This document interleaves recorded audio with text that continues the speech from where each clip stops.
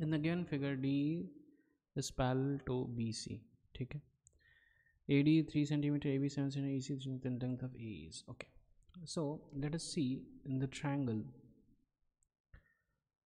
triangle ADE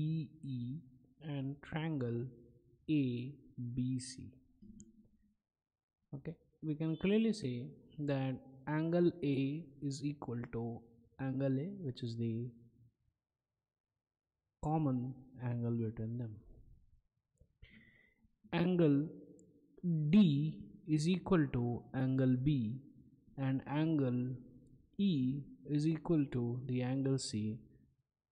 which is corresponding angle.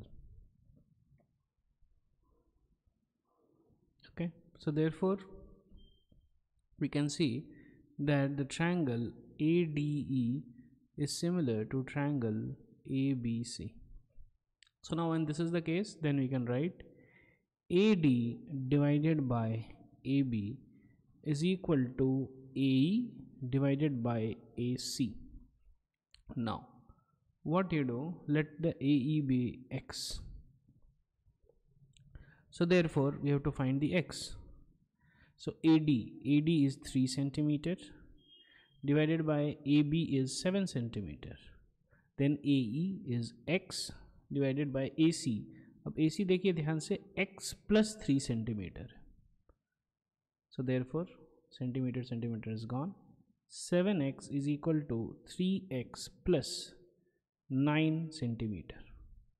इसको इधर लेके आ जाएँगे तो four X is equal to nine centimetre so there four X is equal to nine divide by four which is two point two five centimeter.